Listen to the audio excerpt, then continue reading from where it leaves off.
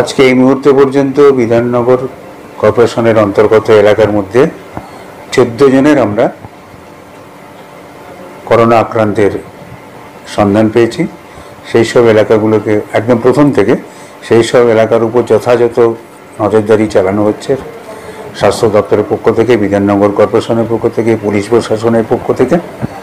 তো প্রথম সল্টলেকে যে পাঁচজনের তা ধরা পড়েছিল।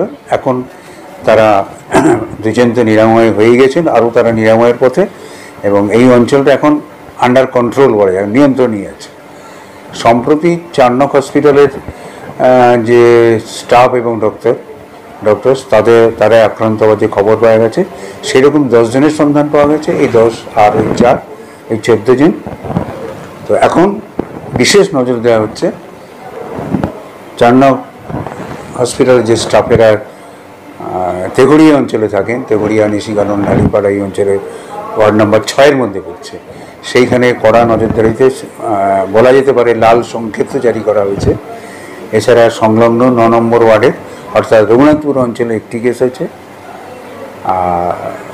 পশ্চিম নারায়ণতলার একটি আছে, আর হাতিয়ারা অঞ্চলে চোদ্দ নম্বর ওয়ার্ডে একটা আছে।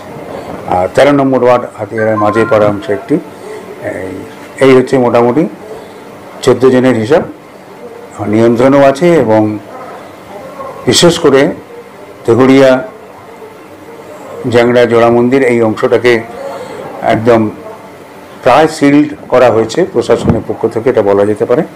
সেখানে প্রতিদিন সকাল, বিকেল দুবেলা এলাকা ওয়ার্ডের পক্ষ থেকে এবং সেন্ট্রালীয়, কেন্দ্রীয়ভাবে বিধাননগর কর্পোরেশনের স্বাস্থ্য দপ্তরের পক্ষ থেকে নিয়মিত আমরা স্যানিটাইজড করছি জীবাণুনাশক ছড়ানো হচ্ছে। প্রতি সেখানে আজকে যেমন ডিএম নিজে উপস্থিত ছিলেন, পুলিশ অফিসাররা ছিলেন, মাননীয় বিধায়ক তথা রাজ্যের মাননীয় মন্ত্রী পূর্ণেন্দুবাবু প্রতিনিধিদের ছিলেন, মাননীয় এমপি দোরাসেন মহাশয় ছিলেন। এইভাবেই আমরা সামাল দেওয়ার চেষ্টা করছি, যথাসম্ভব তথ্য রাখা, প্রতিনিয়ত খবর রাখা, যে কি পরিস্থিতি সেখানকার।